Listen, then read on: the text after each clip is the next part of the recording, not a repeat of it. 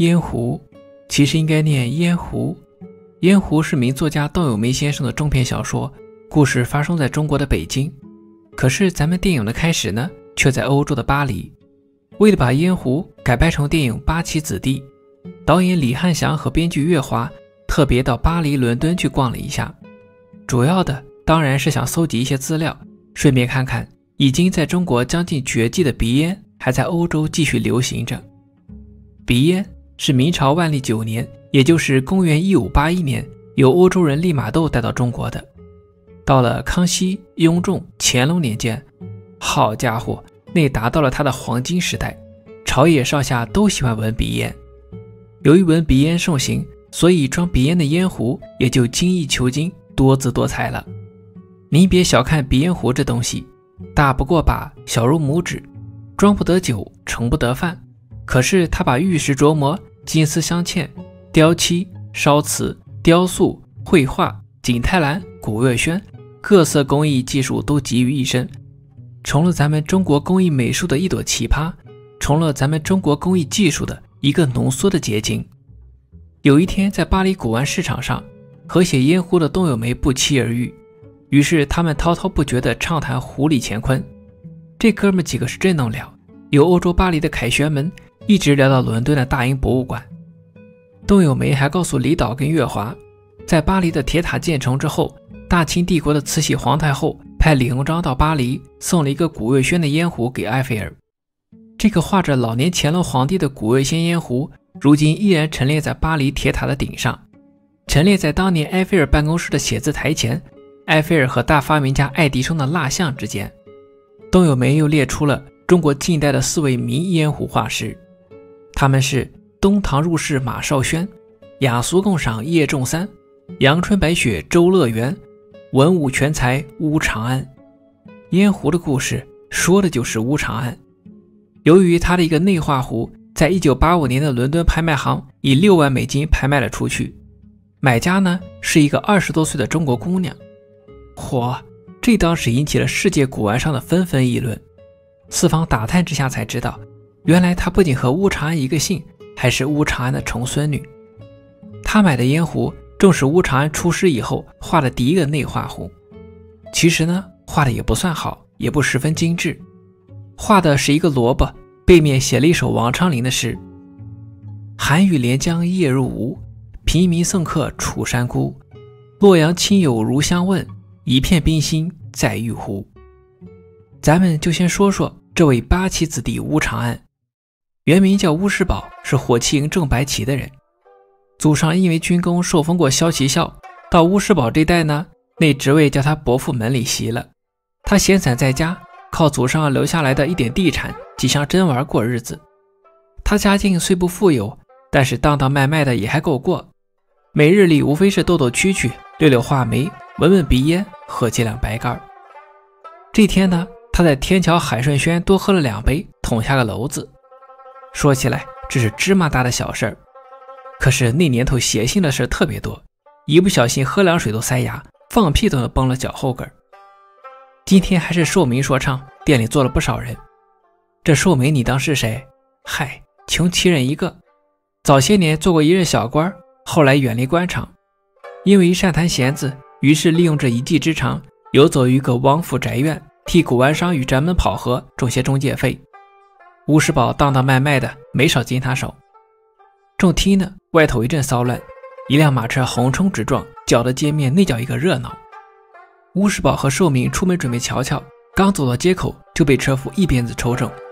再一细看，嚯，当是谁呢？这不徐狗子吗？徐狗子大名叫徐焕章，原是乌世宝家里的骑奴，父亲一辈发达后脱了奴籍，但因他是家生子，所以尽管脱了籍。但奴才的名分还在，见了主子照旧得叫爷。旁人一听徐狗子是奴才，都起哄说不教训他对不起祖宗。乌世宝一向好面子，被狗闹这儿了，不抬手说不过去。寿明走街串巷见识多，脑筋活络，见差不多了就赶紧拉乌世宝走。毕竟这世道不比从前。再说了，兔子急了还咬人呢，别说狗了。说起来，乌世宝提笼挂鸟的转悠，没少被人骗。三十好几了，还是一身书生气，也难怪他从小过的悠闲日子，不谙世事。明面上是四九城的爷，其实啊，生活范围很小，读书识字没得说，真下了街面混，一捏就瘪，一碰就碎。就说闹义和团那会儿吧，端王创立了火神营，惩治洋人，一时间风头无两。有一次在端王的寿宴上，乌世宝即兴编了几句唱词：“老王爷福绵长，创立了虎神营，保国保家乡。四虎入神从天降。”洋鬼子见了心发慌，神驱鬼，虎吃羊，羊吃尽，鬼驱光。看你们逞强不逞强！端王一高兴呀，当即要提拔他进虎神营。徐狗子一听可吓坏了，这虎不单吃羊，要是吃起狗来也是蛮变的。要不说徐狗子机灵呢，没几天就在街面上吼到吴大奶奶一个劲儿的道歉。吴大奶奶向来温和，让徐焕章别放在心上。芝麻绿豆的小事早没影了。其实徐焕章还不知道，吴世宝根本没进虎神营，因为他一听叫他骑马打仗，就吓得直哆嗦。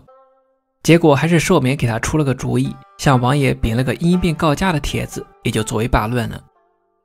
到了庚子年呢，八国联军占领北京，和清政府议和，提出条件要惩办义和团祸首。虎神营兵消瓦解，端王呢也被发配到新疆。终身禁锢，而徐焕章呢，却因为会说几句日本话，和日本人攀上了关系，当上了稽查队的队长。小人得志，鸡犬升天。徐焕章当了侦察队长的第一件事，就是四处找仇家，一个一个给送进大牢。这天呢，就找上寿民的麻烦。过去唱老王爷福绵长，现在神也上了天了，虎也下了地了，给我改词儿，唱老王爷福不长。创立了虎神营，误国害家乡。吴世宝当即站了起来，原词原曲给来了一遍。旁人一看来了劲了，一个叫沈进的穷奇人开口便骂：“徐狗子，狗仗人势，洋人是你爸爸。”徐狗子转身灭了一眼，马上叫人给抓走，说沈进是乱党。其实啊，吴世宝才是徐焕章公报私仇的对象，不过因为其主其奴的关系，不得不明修栈道，暗度陈仓。乌世宝的罪名是乱党加义和团，还有在虎神营当过差，所以第一堂就定了死刑，关在死囚牢里。多亏了乌大奶奶抛头露面，托人情走后门，花钱打点，才算把乌世宝的死刑打掉，押进普通牢房。还好乌世宝吉人天相，因祸得福，这就叫山清水尽疑无路，柳暗花明又一村。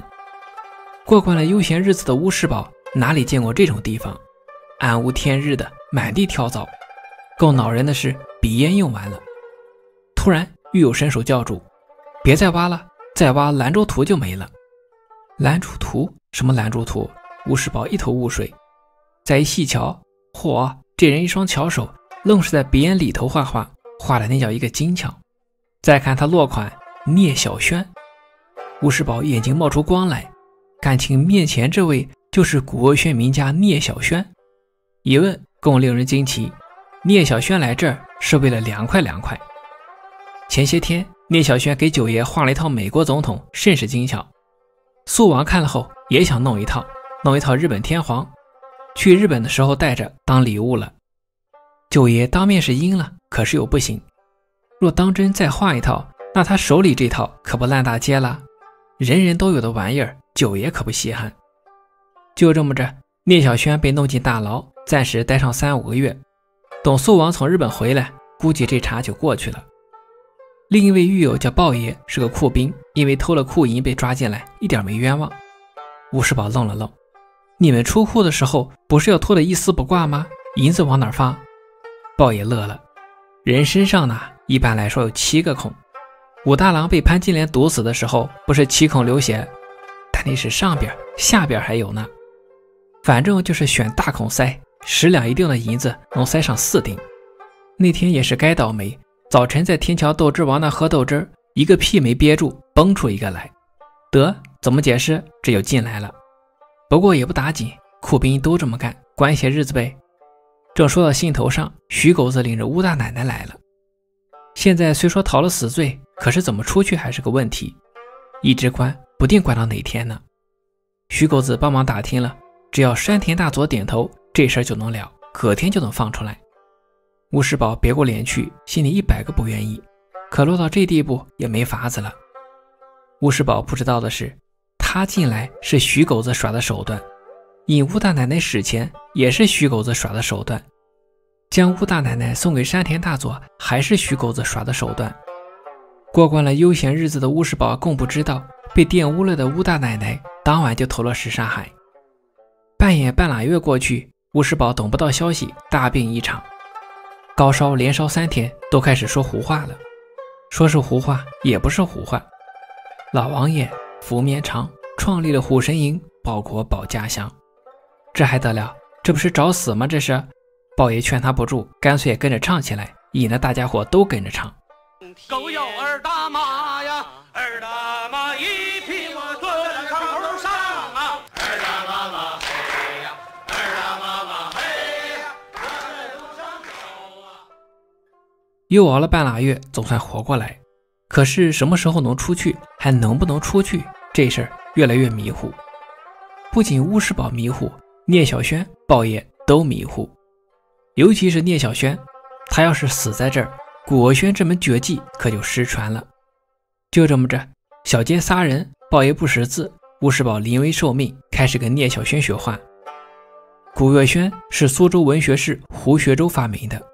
胡家一直是把画壶和烧壶的技法分开传授，比如说两个儿子就一个学画，一个学烧；要是一个儿子呢，就把烧壶的本事交给儿媳妇；要是一个女儿呢，就把画壶的方法交给女婿。聂小轩就是胡门的第七代女婿，所以他画，他的老伴儿烧。如今老伴儿死了，就把烧壶的技法传给了独生女柳娘。古月轩呐，是火中夺彩的玩意儿，每样釉色的要求火候都不一样，所以每一个颜色都要烧一遍，十几个颜色就要烧十几次，烧出来的颜色又和画的时候颜色相反。你比如说，红花要画绿的，而绿叶却反而要画红的，而且火候要恰到好处，过了太深，不够又太浅，所以一个古月轩鼻烟壶不能说百里挑一。要烧个二三十个才能成功。又是一年春风起，到了放纸烟的时候，巫师宝被无罪释放。寿敏先把巫师宝带到澡堂子，说先洗洗澡、剃剃头、刮刮胡子才能回家，要不然的话，胡子拉碴的，活像个土匪，还不把乌大奶奶吓死。其实是怕巫师宝知道家破人亡之后，一时受不了，吓晕过去。在澡堂子里先聊聊闲篇，然后才告诉巫师宝。大奶奶为了他的官司，把房子、地和存的一点家底都变卖精光，结果还是上了徐狗子的圈套，吃了眼前亏，跳了什刹海。唉，真是好人不长命，祸害几千年呐！过去的事儿谁也拉不回来，想也白想，总得打起精神做人呐。看看眼下这世道，邪性的很，谁知道明个会发生什么？不说远了，这澡堂子里就有怪事儿。有人跟玩摔跤的小泼妇打赌，说只要他敢进澡堂子，就输他两桌燕翅席。这不，他来了，大伙起哄。世道真他妈的邪性，娘们也进澡堂子。小泼妇恼得很，一个扫堂腿撂倒仨。看你妈的看，你妈也这样。女人邪性，男人邪性，这四九重就没有不邪性的。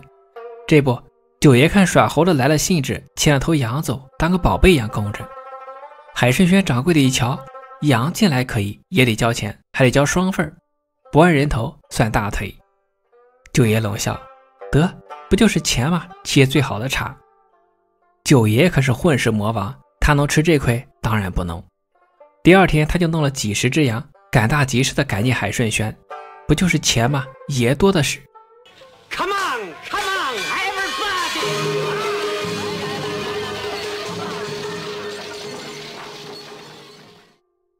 这帮杨大爷从一楼爬上二楼，爬进厨房，搅得海顺轩一地狼藉。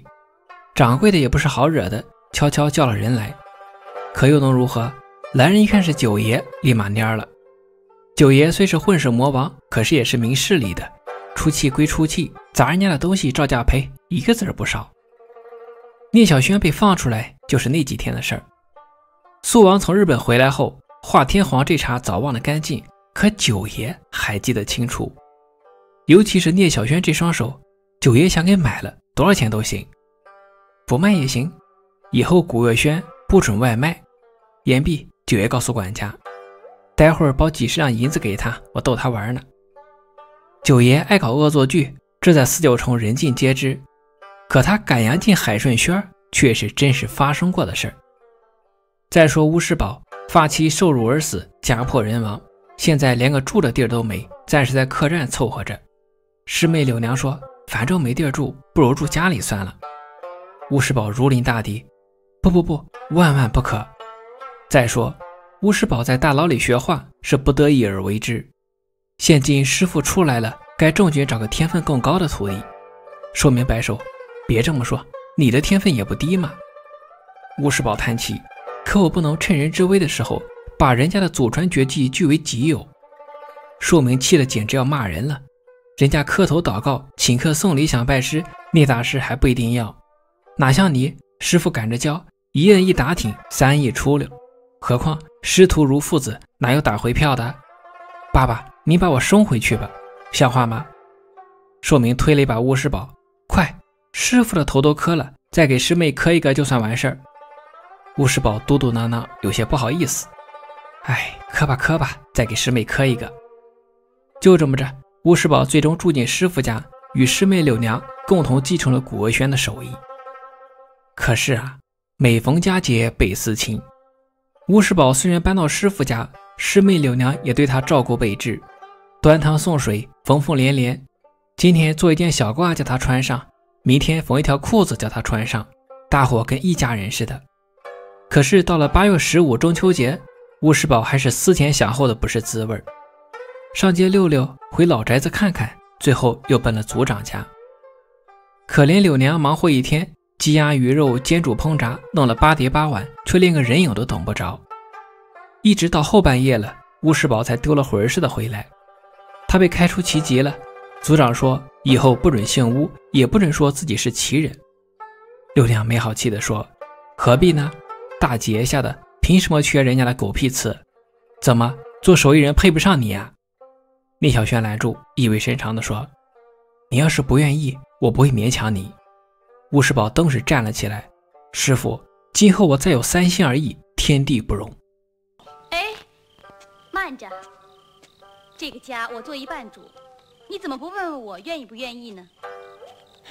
师妹，你还能不留我？说来倒霉，这徐狗子害了巫师宝家破人亡不说，见巫师宝放了出来，心里不平，又开始暗地使劲。去年素王要天皇鼻烟壶没要成，是因为找不到聂小轩。现在聂小轩出现了，没有理由不让他画一套。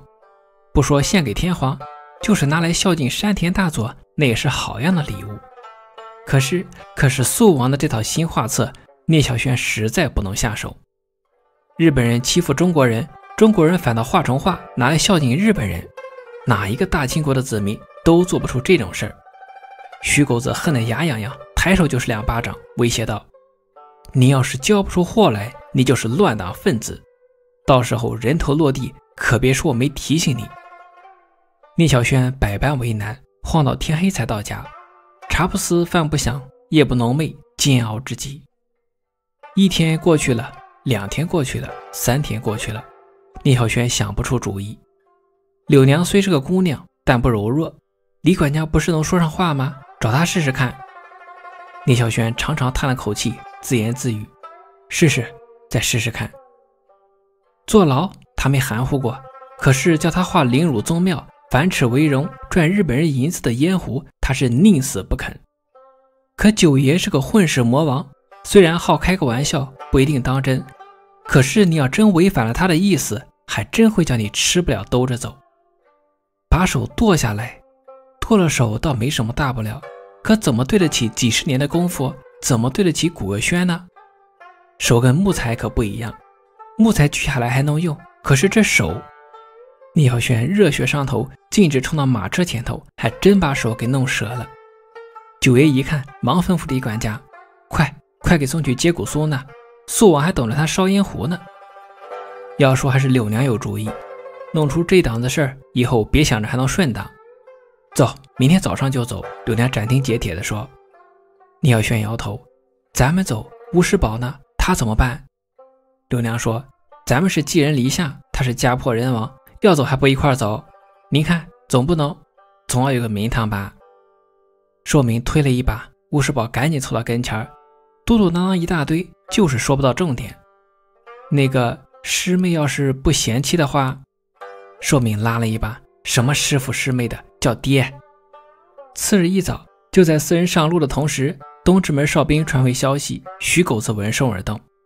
殊不知，寿明带马车出了城后，七拐八拐，最后从小路绕到西直门，向西上了大路。出城约莫七八里地，路过一座破庙，四人这才道别。临别没什么好送的，只有一只鼻烟壶，一只巫师堡出师以来的第一个鼻烟壶。寒雨连江夜入吴，平民送客楚山孤。洛阳亲友如相问，一片冰心在玉壶。从此，聂小轩和巫世宝夫妇归隐山林。以后呢，巫世宝改名叫巫长安，以画内画壶为生。两口子为了保持古轩这门手艺，每年还烧那么三窑两窑的。可是既不为民，也不谋利，底页上全打上乾隆年造。这个内画壶就是以六万美金的高价被乌长安的后人买了回去的。聂小轩和乌长安的名字将随着古轩和内画壶的艺术永垂不朽，而徐焕章呢，摇身一变成了军阀头子，呼风唤雨，左右逢源。